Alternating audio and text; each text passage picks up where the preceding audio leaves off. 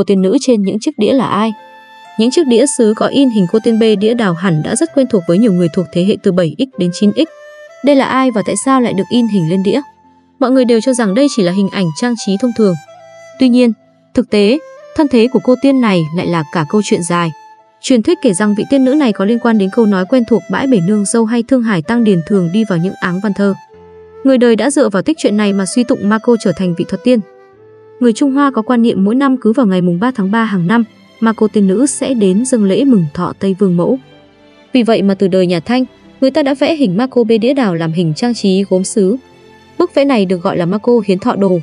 Trong hình, vị tiên nữ sẽ xuất hiện với hình ảnh duyên dáng, ăn diện lộng lẫy xinh đẹp, chân cưỡi mây, dắt chim hạc hoặc cưỡi trên lưng con nai, gương mặt thì rất hoan hỉ, bàn tay búp sen bưng đào tiên hoặc rượu trúc thọ.